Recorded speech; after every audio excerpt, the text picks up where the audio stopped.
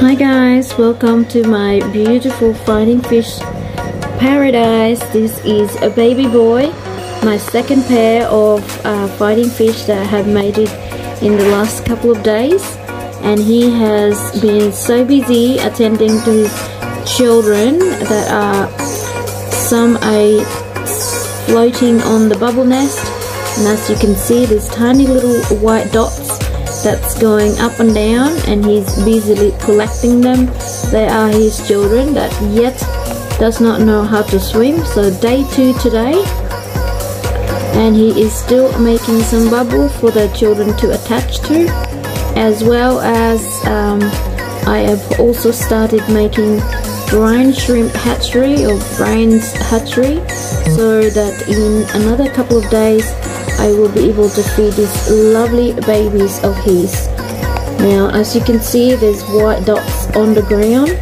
These are his children that he is busily popping in the top and I have also um, put some aeration in my breeding tank but I have put quite a lot of plants for it to not disturb the surface but it needs to be um, also aerated so the children can breathe.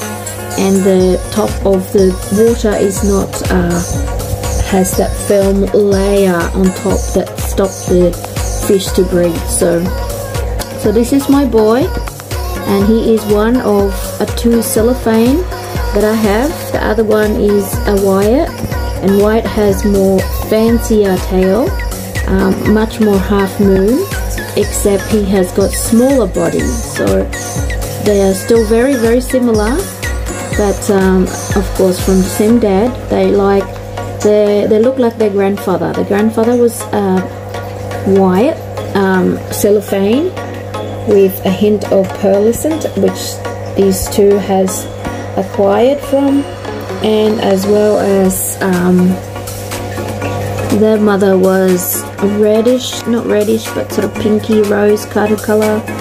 And uh, I do have a few, I do have three more other boys that I will uh, try to breed.